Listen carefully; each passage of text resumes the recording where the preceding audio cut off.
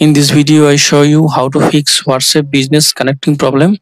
For solving this problem, go to Play Store, search for WhatsApp business, tap on WhatsApp business, up to date your WhatsApp business app if available any update version.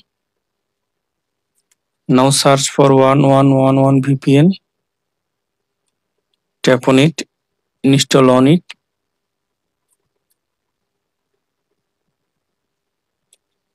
Now go to settings, then go to apps, then go to see all apps. Now search for WhatsApp business. Tap on WhatsApp business. Tap on force stop. Tap on OK.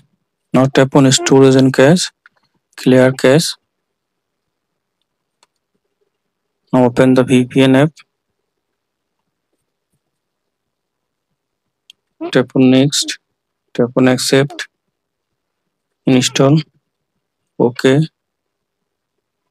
Not now. Allow.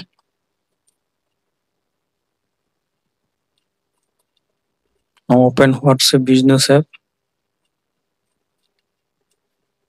Tap on agree and continue. Use your number.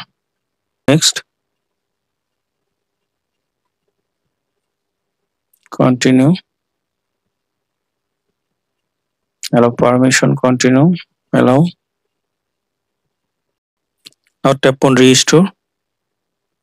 Wait for completing the restore process. Now tap on next. Next.